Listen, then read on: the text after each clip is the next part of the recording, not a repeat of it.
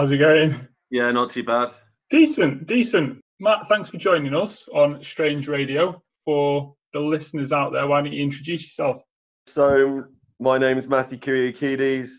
I write psychedelic trance under two projects, Contineum and Mutaliens. And you're a label owner of Mutagen as well. Ex label owner of Mutagen. It's not completely shut down, but me and my, all my mates that were running it decided we had other things we wanted to focus on in life. But I haven't officially like shut it down with the distributor because you never know in five or six years' time we might end up, you know, and we can start it up. Well, it's like Got yeah. You, I mean, you release quite a lot on a bunch of other labels. You, you know, I've seen recent stuff from Trick Music, Looney Moon, Aphid. You're pretty prolific, anyway, aren't you? Yeah, like Mutaliens is on Looney Moon, so I only release. I mainly release with them, but as Contineum, I I basically release a lot further and a lot broader. But I think there's also more labels with Contineum because there's more of a scope. Mutaliens is just night music, while Contineum's got a more broad spectrum, light and dark full on, rather than just being dark. Right, got you. That was something I wanted to ask you about. Was why the two different projects? I had Mutagen Records, so I started writing full on because it was what was around me more. But basically, what happened was is I had an album, seven tracks, ready to go five, six years ago or seven years ago now for Contineum, and the classic I didn't back up. Hard hard drive corrupted, completely failed. Lost Um. six of the seven tracks of the album. Didn't even write music for a while, and then I was always into writing darker music, and I started writing darker music, and then it became, I suppose, more popular as I got better at it and wrote more. So it's kind of become my, my more of my focus. But I'm bringing Contineum's focus back as well. Nice. And uh, do you find that gives you like a totally different creative outlet depending what mood you're in, or do you just sort of write as as and when you feel? How how does that creative process work with having two different projects? Well, I don't know about other people, but when I write, for example, when I write a track, I kind of know roughly, for example, what key and BPM it's going to be in, and I have an idea of what I want it to sound like before I go into the studio. All right. So I, so for example, the best way to describe it is, if I do an EP, if it's Mutaliens, I know. I mean, there is a darker and lighter side of Mutaliens, but in general, for example, you, you know what I mean. The lighter side of Mutaliens is still darker than uh, than the harder Contineum stuff.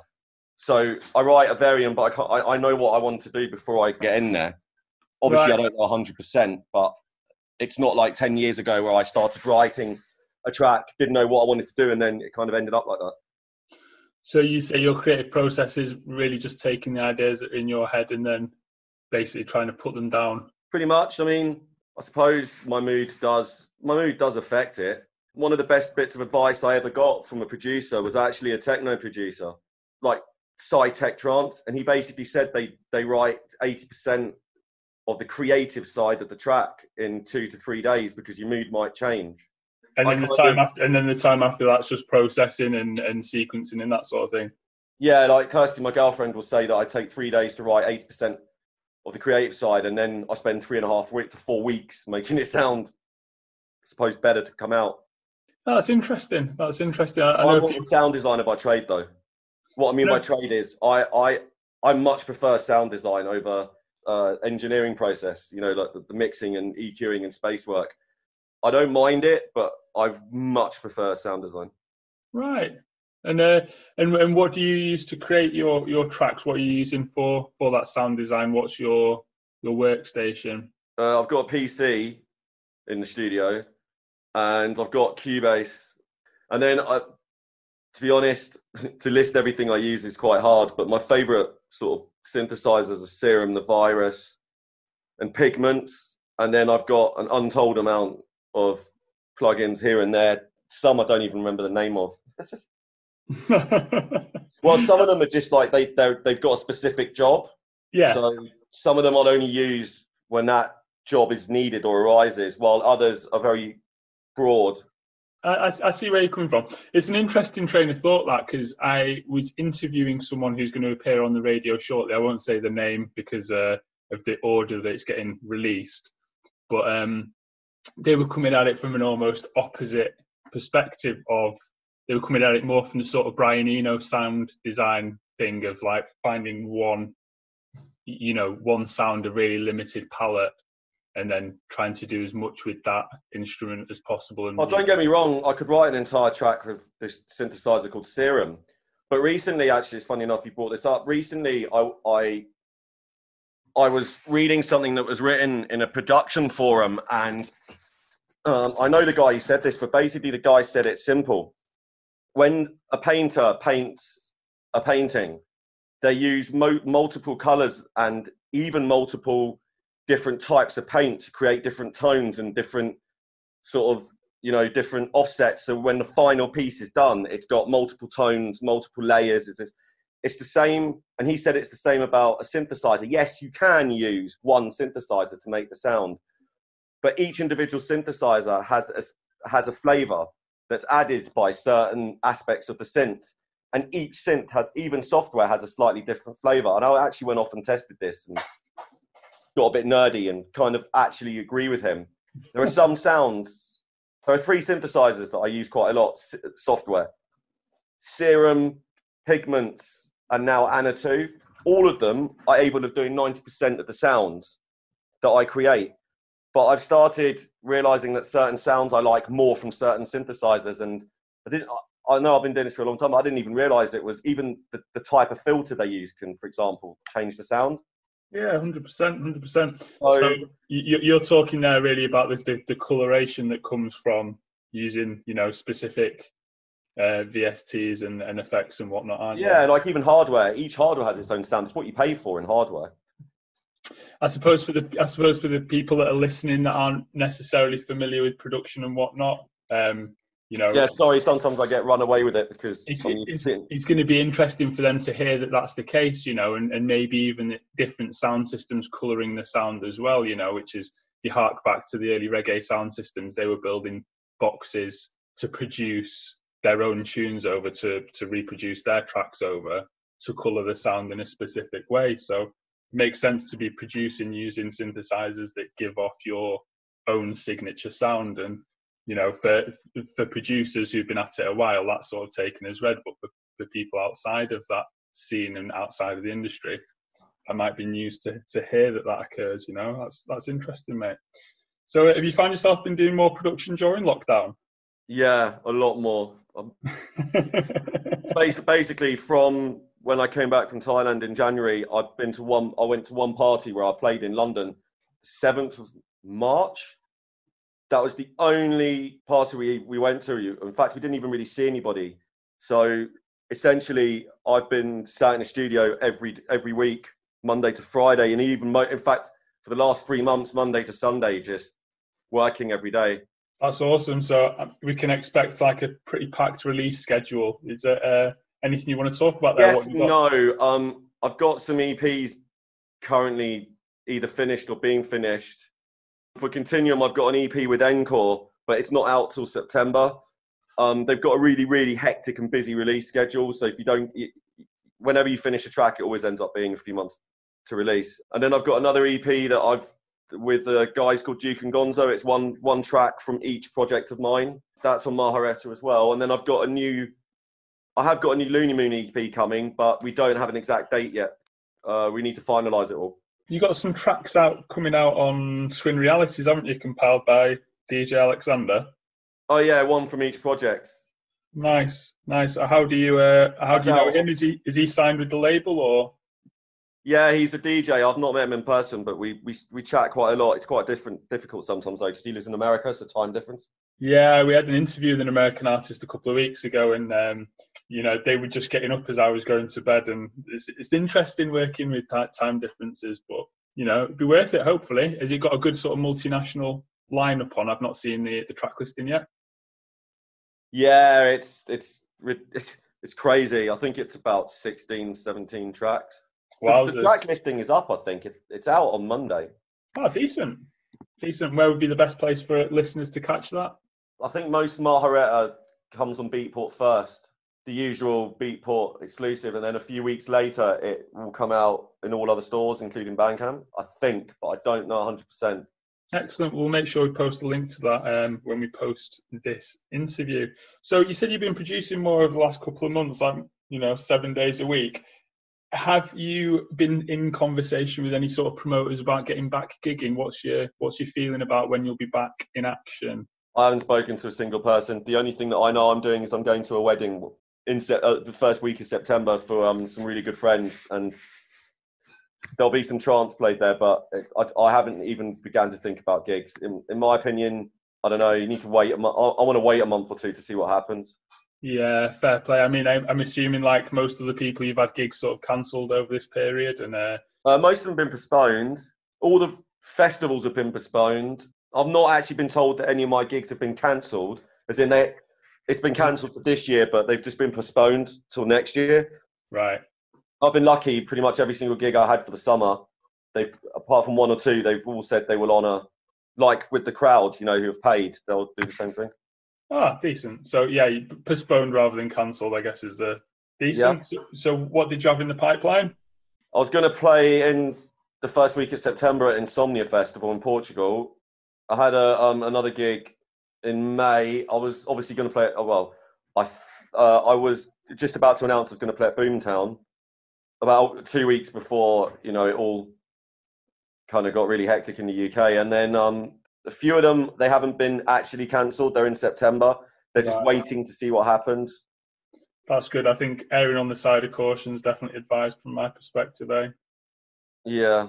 So you mentioned Tribe of Frog there. You played with them at Boomtown 2019, didn't you? Yeah, I've played for them three times now. I think. Nice. Have you played? Uh, have you played at their club venue, or has it all been outdoor gigs? No, I've played um three times for them indoors at their venue as well. So they used to be at the Lakota. When I played for them, that's where they were based. Where are they based now? Still Lakota. It's a cracking venue, isn't it? Yeah, with uh, uh, you had Eden as well last year, didn't you? How did you? Uh, how did that relationship come to be? How did it come to pass? Yeah, I met a couple of the. Um, I met basically the the stage was run by Subsector, and one of them is called Quadrant. All right. He's an artist on Boomshanker Music, and he we we knew each other, and he just asked me, and I just said yes. Fairly straightforward. yeah, no, no. Like we knew each other for two or three months, and then he said, "Would you like to play?" And I was like, "Yeah." Um, and then you know, most of mine are very straightforward. That's uh, that makes life easier, doesn't it? I think some people overcomplicate, um, you know, bookings and whatnot. And you know, as a as a promoter myself, I tend to shy away from booking people that make you jump through, you know, 101 hoops to book them. And that's probably why you're so bookable and, and why you get so many gigs. You know, good quality music first and foremost, and then make it simple for you know for people to book. I used to promote I used to promote a party called Atom. We did a lot of underground parties over the course of seven years. And I suppose that I did that before I even started producing while I was a DJ. So I think it might have rubbed off maybe. Yeah. Having both sides of the having both sides of the um, of the coin, as you if you want to call it. I try and make it as easy as possible, but if it's something I can't do, I say something. But I try to generally make the experience as easy as possible because neither party wants overly complication or anything like this. It's, you know. True, true. You mentioned your DJing there. You used to play under the name DJ Myth, was it? Yeah, years ago. Then I turned it to Contineum after a while. I kind of just wanted to consolidate everything. So, do you DJ much anymore, or what, did you just completely pack that in and focus on your production? Actually, funny enough, recently, um, a lot of people are going to boo me for this, but I switched from CDJs to using a laptop because I have to carry my laptop around with me everywhere anyway. Yeah. I don't see a problem with it really, to be honest, these days. You can do so much with it, especially for a genre, for example, like Psy Techno. You know, it's a bit more minimal. You can really mix it in well and like, it depends on how you use the software, but I'm not going to get into that particular argument. But I, I, started DJing um, under a new name called Murky Aura. It's basically dark prog, forest progressive, and psychedelic techno. Nice. It's uh, it I mean, I, am going to have to just bring it back there a second and mention a little bit about the technology because it's something that interests me. And I think that psytrance is one of those genres whereby, for some reason, people have lent towards using CDs and whatnot a lot longer than other genres. And I, I moved over to using a laptop a while ago, and like you say, people sort of um, weren't as accepting, and you, you know you, you, get the odd comment, and whether you sync or not, I, I, wouldn't get into. But for me, it just makes sense. Like you say, a you're carrying your laptop around with you anyway. You know, there's so much more versatility. You know, the power of the effects and whatnot, and also just turning up at gigs whereby you've got a pair of like crusty old CDJs that are, you know, probably barely reliable and, and ten years old, and I don't think it's conducive to putting out, you know, a good quality set. So it's what I love towards the back end of doing our parties, talking about that sort of situation. I used to um I, I learned on a cruddy pair of 800s Mark yeah. 1s. So they're not quite 100s. I did learn on 100s first, but then I sort of refined on a pair of Mark 1 800 Pioneer 800s. And so I was all right. But I, I tell you, the first day that I turned up, the first ever live set I ever played was obviously, you know, quite obviously at our own part, at my own party with my friend who organises it. So I'm, I'm playing pretty early. It wasn't like it was late, you know, and the three DJs before me, every time I walked up to the DJ before me, he kept on going, This is a struggle. and then I, I, smiled at him and said, For once, I don't need to worry about that. I've got my laptop, my sound card, and my keyboard. So I have everything that I know works. I've got extra cables in case it doesn't work, and I've got a backup CD in case something goes wrong. And he looked at me and just gave me those eyes of you lucky bugger. yeah, yeah, yeah. I've, I've, I've had similar, but you know, I think that that's that's a professional point of view. Yourself, you just mentioned spares you mentioned sort of redundancy and backup. I think that counts for a lot. Going back to your partner Kirsty, you mentioned she DJs. I remember when we booked her for an event, it was exactly the same. You know, spare, yeah. Where do you think she got that from? Spare. Well, this is it, mate. It's, this, you know, wherever it was learned from, it's it's a good example to young DJs just starting, isn't it? To... Well, she said the, the, way that came about was um, she had a backup because she was going to play her first gig, and she said, "What happens if the computer fails? Backup." What happens if this fails? Backup. Oh, but I've got to mix another CD that's going to sound like me because I don't just want it to be so clinical. Or I don't want you to do it. I've got to do it. And I was like, that's fine. Backup. And then first or second party she ever played at, it was in a bar, a friend's barn, and basically they normally built um, a protector for the DJs because there's a mezzanine above the DJ. What someone spilled rum and it went directly onto the table, and I don't remember if it hit or nearly hit Kirsty's equipment, but I taught her to back up, and then she just slammed the backup in. It's, it's the way to do it. That's the one thing I would say about CDJs as well. Again, a few of my DJ friends have slapped me around the back of the head for saying this, but you're actually more guaranteed to get a smoother, you know, a, a, a smoother set because you you've got a backup. Yeah. so you won't have music for three minutes as long as you've got a backup. Yeah. Backup, backup, mate. It's, it's, yeah, that's, that's, what I say to every, every single time I've ever you know, when they ask me, when anybody like loads of friends ask me, what was what is the one bit of advice you would always give a starting out live act? Backup. It makes sense. It makes sense. How good, how new, how good your computer is. I've seen Macs with 32, you know, like maxed out one 2500 MacBook Pro. I've only got like a 2012 MacBook Pro. And I turn up on stage and nothing goes wrong, and they're the brand new, you know, ten, only five gig old, two and a half thousand pound maxed out MacBook Pro RAM starts being weird or whatever reason. It's just it's you're not you know you're taking laptops into environments where they're not really made to, made to be used with like when you're in clubs it's really sweaty and it's like really sort of what's it what's the word condensationy outdoors you can have wind you can have you know sun i played a gig in south africa years and years and years ago on my old one of my old pc laptops and the computer started freaking out. When I mean freaking out, it's like jumping all over the place, like it was glitching, and it was because of the heat. It was 45 degrees, sun directly on the, the, the laptop for 50 odd minutes. It's going to do things.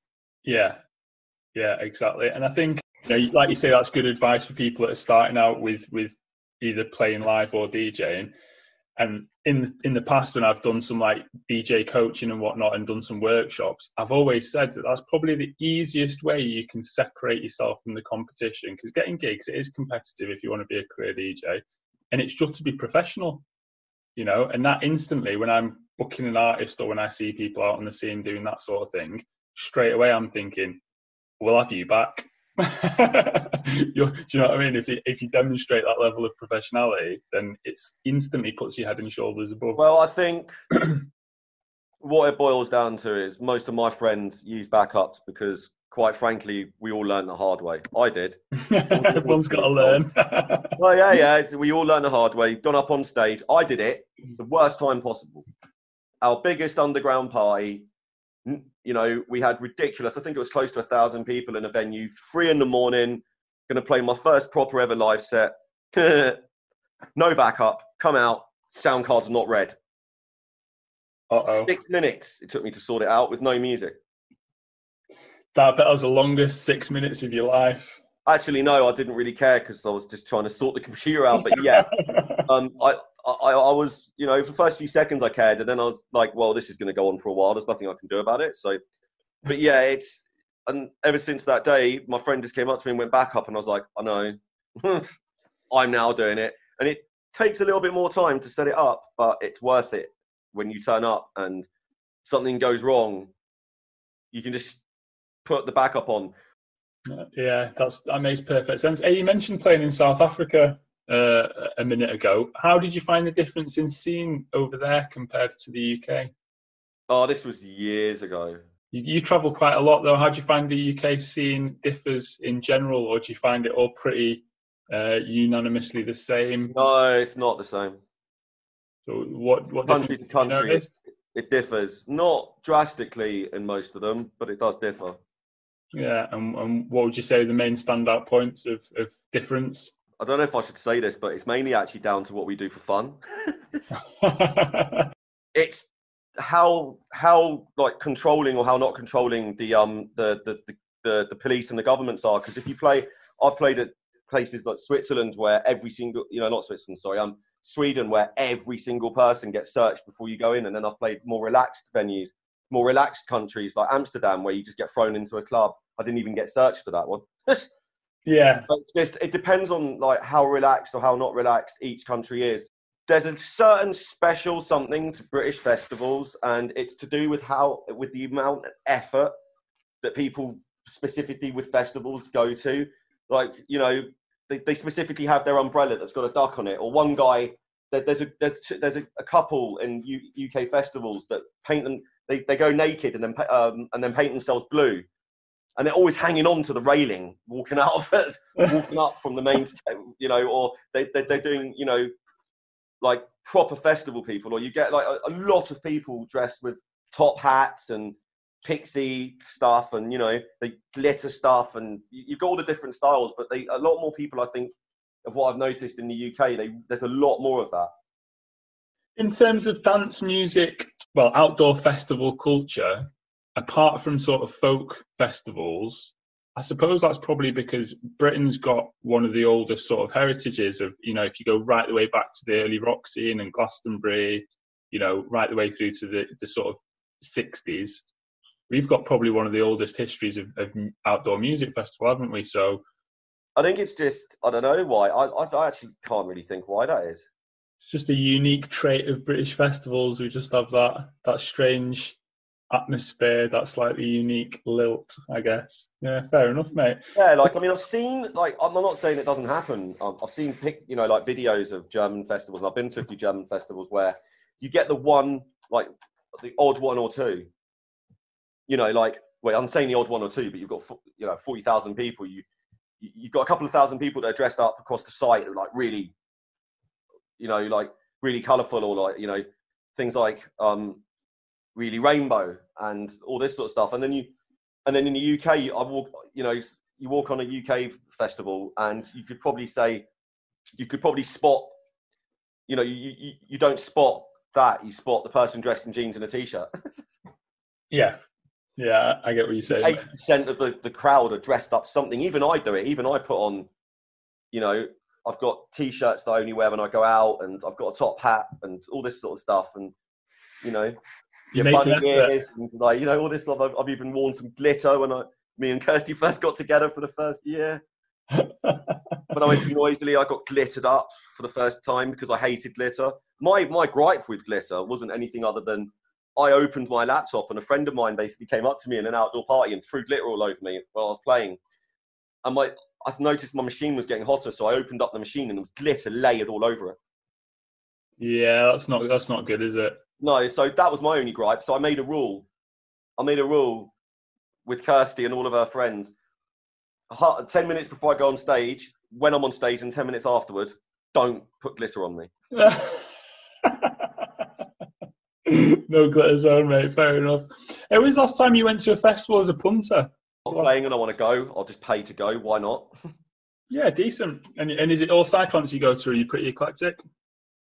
Um, festival wise, no, it's pretty much psytrance. Um, I don't know. I'm pretty pretty heavily embedded in electronic music. Um, I really like the look of Anthropos, which is predominantly, you know, the alternative side of it, like breaks, techno, mid tempo. I absolutely love mid tempo music from Shanti Planti artists like Eurythmy and um, Quanta and uh, Nanosphere and all these guys. It's really really cool music. Nice. And um, with your sort of influences for your own productions, are they all electronic as well, or was there any yeah. sort of any sort of earlier influences from your teen years that that stretched outside of that sort of trance? That's the funny thing. I've never really gone through a lot of phases. I, I found DJing at 13 years old, and then started DJing hip hop and broken beat and things like Ninja Tunes, and pretty much since then I've really listened to that, and then it was drum and bass like breaks and DM, like things like uh, electronic music. Sorry, like breaks, D&B. What sort of hip hop? I was more I didn't like a lot of the American stuff. I was more into things like uh, the UK artists, but old what they call old school, like Braintax, Skinnyman, Jest, Task Force, Doctor Syntax. I liked Cypress Hill and um, Dilated Peoples, which are American, and I love this label called uh, Stones Throw Records. If you're into hip hop, it's a bit more experimental, most of it, um, but it's like really amazing. It's a bit like Ninja Tunes, but a bit more American hip hop based. Yeah, big fan myself. But anyone listening to this that's not heard, highly recommend you check out pretty much all those names you just mentioned. Actually, yeah. I just, I'm, I'm, the, the, way I looked at it was, and it's, it, you know, I'm, I was, I'm, a, I'm like a, a middle class kid who had a few friends who lived in some really rough areas in London, but I, I would never call myself ghetto or anything like that. So I was just into hip hop because actually you'll, you'll probably agree with me. Hip hop's the only other music genre i know that has a culture behind it. Like you know most of my mates that like hip hop they dress a certain way like flappy cats baggy trousers. They all watch manga like avid manga fans. Some of them some of them skateboard some of them graffiti but they're all into you know they're all into the stoner movies and all this it's, it's not quite as much as psytrance but there is a little bit of a culture behind it and I got into it because all my mates did, and I, I just didn't see myself as gangster. So a lot of the guys, and especially in America, that were talking about walking around in hoods and all this sort of stuff, didn't really resonate with me. But I could understand because I had a, quite a few friends that lived in a really rough area of West London. I could really understand what the UK guys were saying because they're talking about the UK. It's more relatable. Yeah, much more relatable, especially as I'd I had some friends who lived in really bad estates in London so I, I kind of saw this firsthand. And how did that progress then through to, you know, other genres and, and how did you eventually discover Psytrance? I kind of dabbled with the sort of rock and metal scene, but I didn't wasn't ever really into it properly. I just went because some friends went. And it was something open on a Wednesday night at first, and then I just eventually got into it, but not really that much. Um, I got into Psytrance because I got fed up of drum and bass years ago when it just came jump up was getting fed up with the music and the scene. And as a DJ in drum and bass, you don't always have a choice of where to go, you know. So you, I played some pretty rough venues that kind of put me off. So I kind of just left drum and bass and DJing behind, went and worked for my dad for a year, and then I met this guy called Graham. And 17, 16, 17 years later, I am where I am now took me to oh. my first psytrance party. I helped him out while he was doing decor a few years after that. Then he brought. Me, then I started helping out with a party called Anti World that he was helping out at. Then that then that kind of I moved on from there and just went through somewhere else. And then one year, a friend of mine came up to me at a bar and went, "Do you want to start your own party?" Yep, okay. Then I started DJing. I started DJing a few years before that, and then it all just I don't know. I, I, to be honest, I can't pinpoint a point. It just all snowballed for those of uh, the listeners that perhaps aren't as as long in the tooth as you and I, let's talk a little bit more about Antiworld. Stainer Street, yeah. I think that was the first one I went to. It was. Um, I know. I was, I was a tiny bit later, a few years later, where they did like the um the academy and um what was the one in Elephant and Castle? Oh God! Now you're asking. Oh, I can't remember. The theatre. It was like an old theatre. So the coronet and the academy was pretty much the sort of era that I went to it. Nice. I think um, what always sort of excited me about traveling down because obviously being Manchester based for, for us it was a bit of a pilgrimage. It was like you know we'd get flyers with whatever we'd ordered, like you'd order a CD or something that month, and you get a flyer and you go. You know, it's pre Facebook, so it's a case of right, what's what's on, and you'd hear through the grapevine, it'd be like, oh, Lab Four are playing, or you know, there's a lot of crossover as well back then. There seems to be there was always an acid techno room.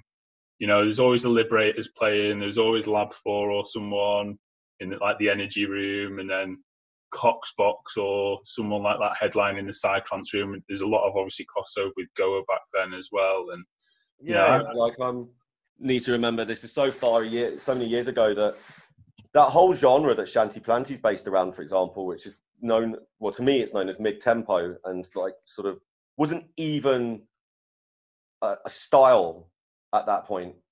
Mm. Breaks wasn't really psy breaks; it was more breaks because they used to have a breaks room in Antiworld sometimes. And so you, in Psytrance, I think you only really had sort of the chill out stuff with very that's a very broad term, I know, but you had chill out and then you had the main floor. Yeah.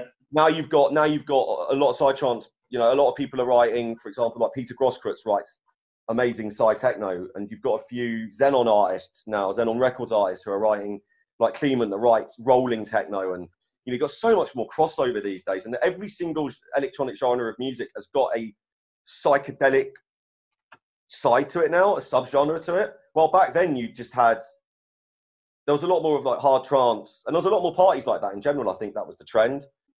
You had yeah. like log- logistics that was similar, just logistics. I think Antiworld's thing was multi-genre electronic music genre parties aimed more at psytrance, while all the others were, you know, the main one would be mo- mostly uplifting trance, hard dance, hard trance, and like actual techno, and then you would get a second room with like breaks and all types of progressive music.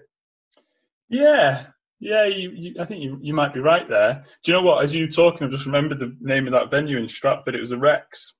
Oh yeah, man. yeah, I went to one there. It got. I, I, kind of started helping out when it was a bit bigger, and they got a lot of the Hamega and being, you know, like they'd always have an infected mushroom at the coronet and an Astrix at the coronet and an infected mushroom and the Astrix, and then they'd be supported by like sub six pixel. Yeah. You know, like all these guys. So like back then, I don't I don't know where, at which point it changed for me musically either, but I just kind of went away from that melodic music quite quickly, and it's not bad. It's just not really my taste. Because even when I was into hip hop, I wasn't into very. I was into the more sort of not dark, but like deeper and grittier stuff, and it's the same with all I suppose all types. Yeah, fair enough. Fair enough. And you, you found that. Well, I, I, I suppose it's it's almost impossible to have gone to those parties and not had some sort of influence. You know, I think just being there changes the way that you look at music, and I can see why that would obviously influence you. But you, you then took it in your own direction, haven't you? Yeah, like it was the first ever music I heard. I didn't really know much about it until a few years later when the same guy Graham started giving me music and CDs, and then when I actually became a DJ, I started searching properly. Like I just used to go to the parties. I used to have music at home, but I just used to listen to what I listened to. And then when I started DJing was when I really found all the subgenres. And I don't know, I moved. I used to like it, and then I just moved on. I know a lot of people that say the same. Like it's quite funny when you speak to some of the seriously dark people, not just producers, but like people who like really dark music. One of my mates who's like totally into like 150 plus. His favorite BPM's like 165 or something he used to love Astrix. Most of these guys even got into it through the the, the you know the more uplifting and the more um should be you know the fluffier side of it. And I'm not saying fluffy or uplifting in a bad way because some people construed it to be the same as cheesy. It's not at all. It's just more uplifting and yeah, a different vibe to it. It was just a different vibe. That's the thing. I think it's just a very different vibe. Yeah, for sure. When you're setting out to produce your own music, do you you know, do you have a specific atmosphere in mind, or would you write as the ideas came to you? Have you ever been sort of ever see yourself being in the mood to write something more uplifting?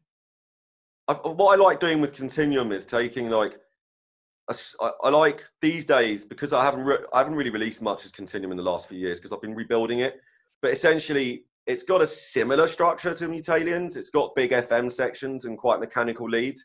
But where it really differs is I use quite a, a sort of tonally harmonic and melodic ish sort of like hits and stabs. So it creates a slightly lighter vibe. It's not quite as deep and dark. Yeah.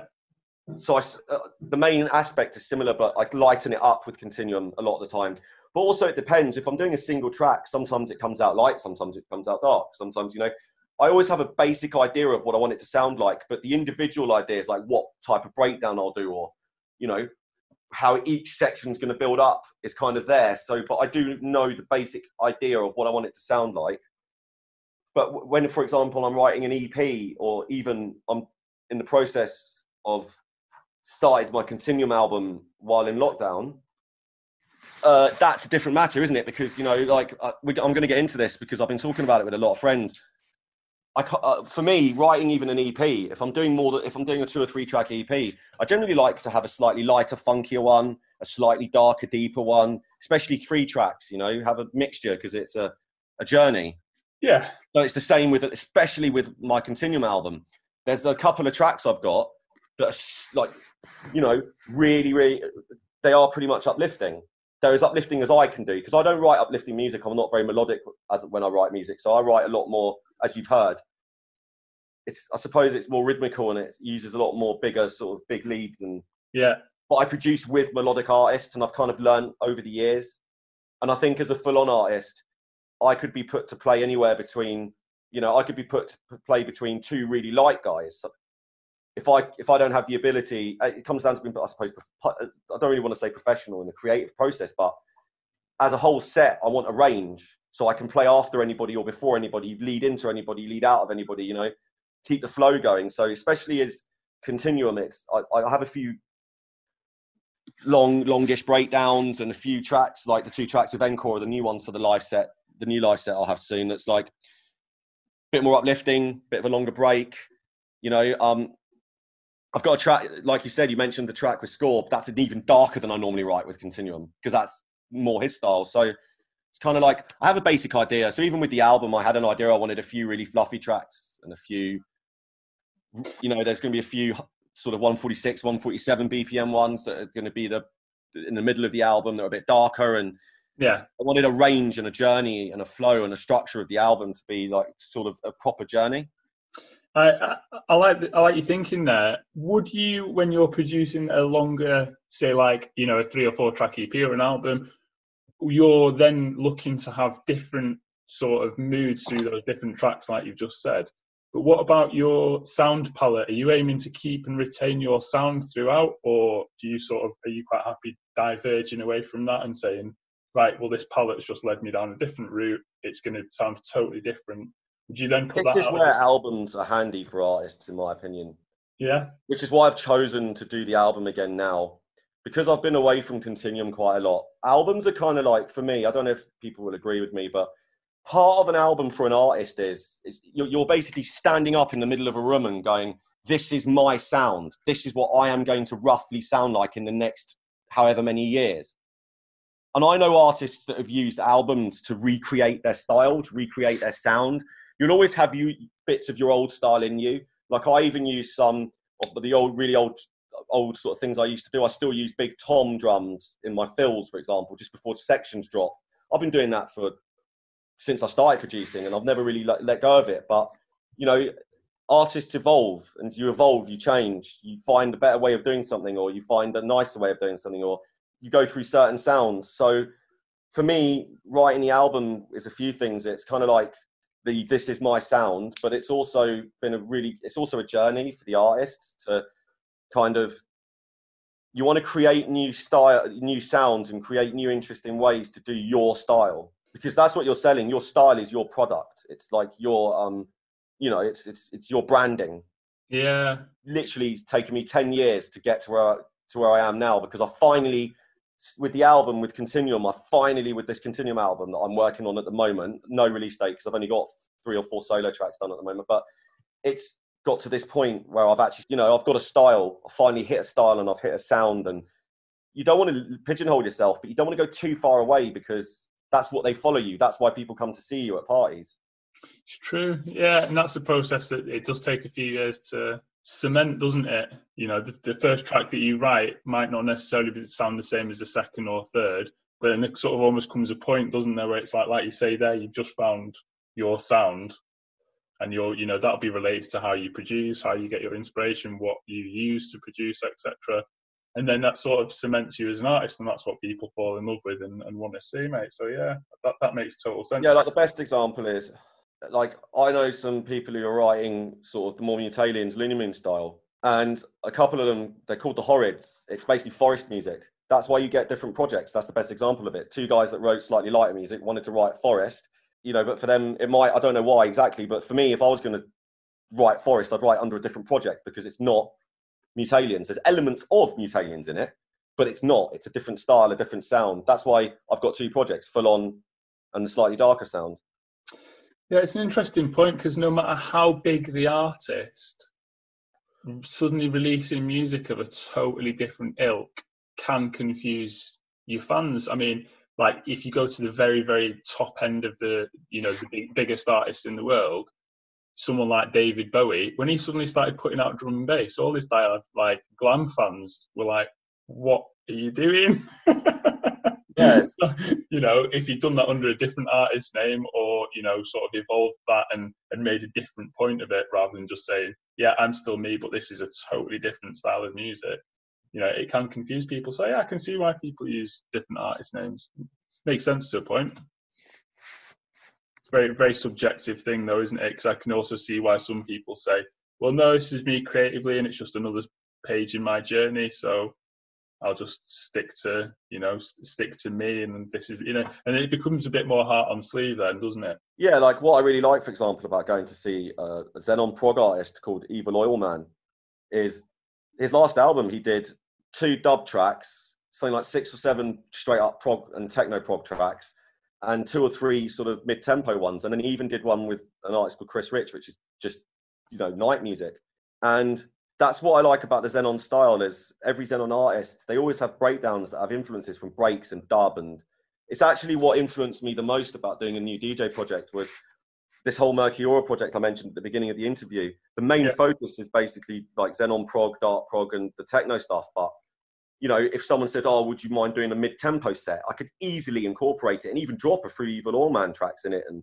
you know, mix it up a bit. And the alternative stage won't mind so much. So it's kind of why I like that that style because you know I I know, uh, for example, the breaks scene. You've got like Nanosphere now, which is pretty much sort of more mid-tempo breaks. You've got even like Head Headflux is pretty much more chilled breaks on a whole. But you can build a whole journey across multiple crazy BPMs and stuff, and that's what I, that's what really influenced me the most about DJing that music. Nice. And and is that something we're going to expect more from you? Are you going to be pushing out I'm as a DJ? Trying. I'm trying, being really busy with, you know, trying to get a set for each of it together. It is a thing. I have been collecting music for it. I've been experimenting at home, but I haven't got round to kind of sitting down and mixing a set together and you know constructing a set for the dark prog and the techno side. I've been collecting this sort of mid-tempo chill out music for so long that I could probably do it, but again, um, I'm just so busy at the moment with production that I kind of don't really have the time to put to it at the moment.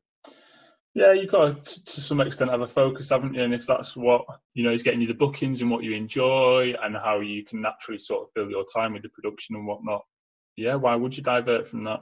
I've worked with, you know, like when I've done DJ workshops and stuff in the past with young up and comers, and you almost see they've got this like I call it like the ideas fairy, they've got so many different trains of thought that they want to pursue down, but then they've not necessarily got the experience or discipline to know that any one of those routes would probably take them to where they want to go.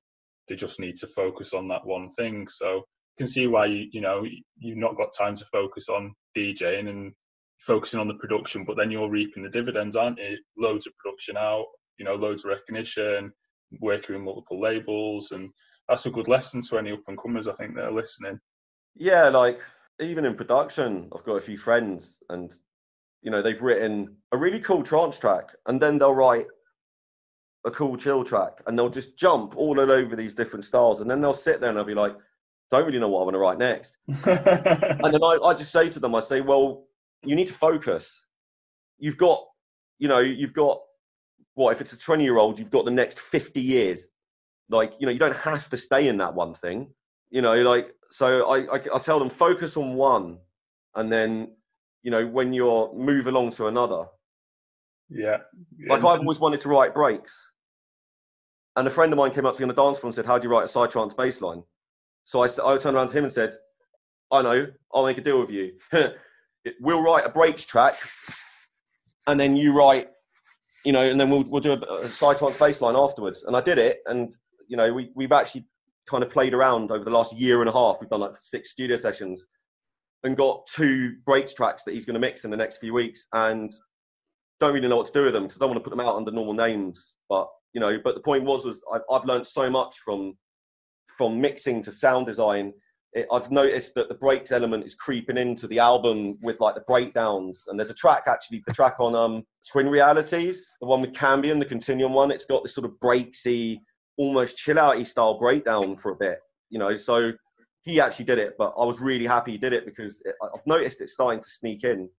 Yeah, it's it's interesting to see that sound uh, as it evolves because you know, like you mentioned earlier, before psy breaks, it was just breaks, and then it went a little bit progressive, and then you know, obviously there's people like Rennie Pilgrem and whatnot pushing it on, and on the more psy scene there was you know people like Mood Deluxe and whatnot who were pioneering in those early years. But I think it is starting to come back a little bit, and it fell out of favour for a while.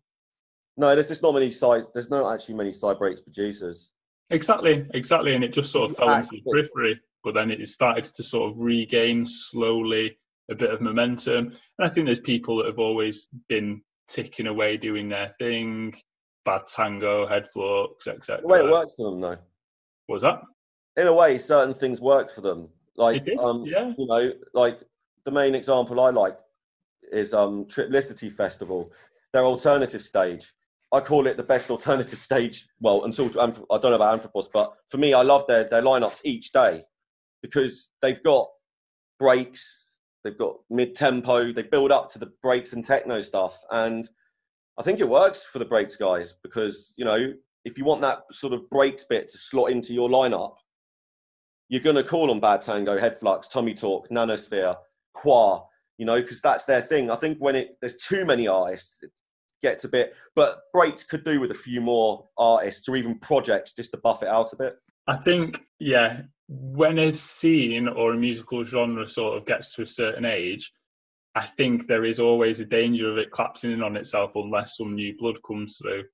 You know, and I suppose Hard House is a really good example of that. It stagnated for a while when it was just totally dominated by a dozen big names and it was the same lineup constantly and I, you know that's one reason I have feared for the sort of longevity of the psytrance scene is when you see the same lineups, you know, whether it be psy breaks or whatnot, you think, well, brilliant, they're very, very good at what they do, and all credit to those artists. But you can't maintain a scene and and keep new people involved and, and keep that energy fresh by listening to the same artist and, and you know there's got to be like new blood that comes through at some point. and you know, it's nice that it's about to experience another revival, I think, and there is some fresh energy coming through. That's awesome. That means it's going to survive, right?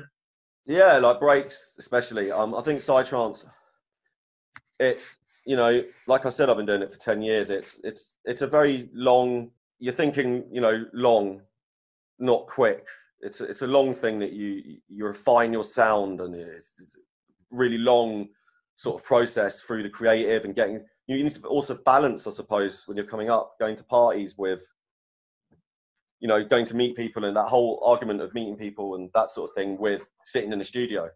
Yeah, there's. I mean, when I was young and, and sort of just getting into DJing as a as a teenager, I'll not say when, donkeys years back. Some of the advice I was getting from people sort of mentoring me through the process and introducing me to, you know, the wider industry you know, people at the time were saying that this was pre-social media. They were saying that deals were made at the after party, and that sort of almost put a pressure on you to be at all the parties, go to the after parties, you know, make your face known, put yourself in front of people. And I think that's one thing that's changed with, you know, the advent of social media is you can be putting yourself in front of people without having to compromise on studio time. You can find that balance, you know. You don't have to be basically partying for six months of the year right the way through festival season for fear of, you know, people forgetting who you are. and then spending all winter in the studio trying to catch up desperately on uh, on your productions for fear of you know getting left behind. So yeah, that's definitely a positive, you know, in finding balance with social media. Yeah, as long as you find a balance, because I know too many people spend too much time on social media and not enough time in the studio. yeah, I think uh, I could probably name a few people that are guilty of that. But I've got a few mates that write amazing music, but it's not quite the in thing at the moment. And plus, they're useless at social media. There's got to be a balance, on it? You know? Yeah, yeah. Like, it's, it's, yeah, I'm not. I'm not that great at the social media side. I've done a little bit of work and currently doing a remix for a chap who's. Um, if you go on his Discogs, he's got you get bored of scrolling through the pages, talking dozens and dozens and dozens and dozens of albums, hundreds of singles, and it's ridiculous. But you go on his social media and it's last post April 2017 or something, and it's like, you know, unless you're really into this specific guy, you just would not know how, you know, prolific he's been, and it's it's absolutely crazy. And I think there's got to be that balance, you know, finding time to produce, but then also making people aware. And I think you've got almost a responsibility to your fans to put stuff in front of them and say, look, here's how you can get it. It's easy to download here. You've got no excuse. Yeah. That's the other thing. It comes back to the making things as easy as possible. and that's what and, and, that's what social media did for like specifically on that sales point of view. Because you can exactly. literally make it so easy for people. You could just put the link there. And literally, just got to click the link, click, and then done. But it's also for your videos, for everything. Try and make it as easy as possible. So they just click, and it takes them at most to one page, and that's it. Exactly, mate. Exactly. Right, quick change of pace before we wrap up. Little mini quick fire round. Uh, this is something I've done for a while with our interviews, and we did it right the way through when we were putting stuff out on Skiddle. So this recent series of interviews. Four super quick questions. Yeah. Okay. First one: top three things you never go to a gig without.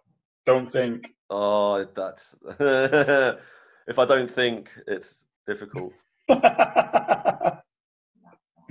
Laptop backup. and apparently, if I don't wear a hat, half the scene in the UK won't even recognise me. Yeah, you got the, the, the trucker cap style, haven't you?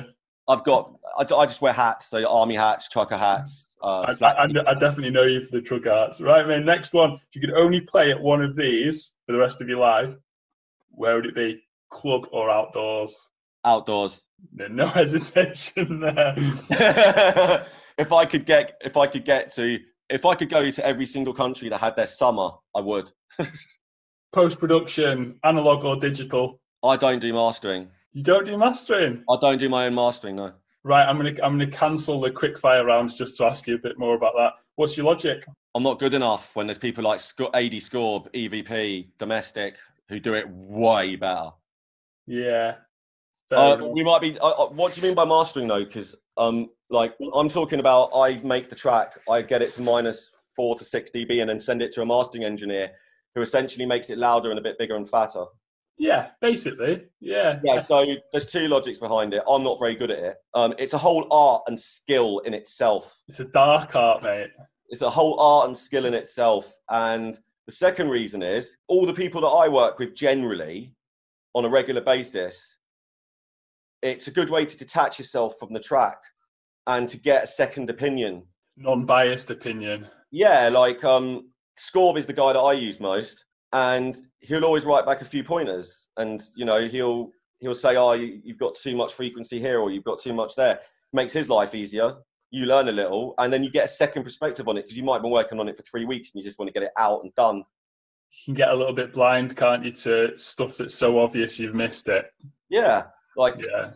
you know, um, but also just quite simply, it's it's a skill in itself, a very, very, very unique skill, and you've got to spend years refining it and being good to be good at it, to be great at it. Yeah, hundred percent agree, mate.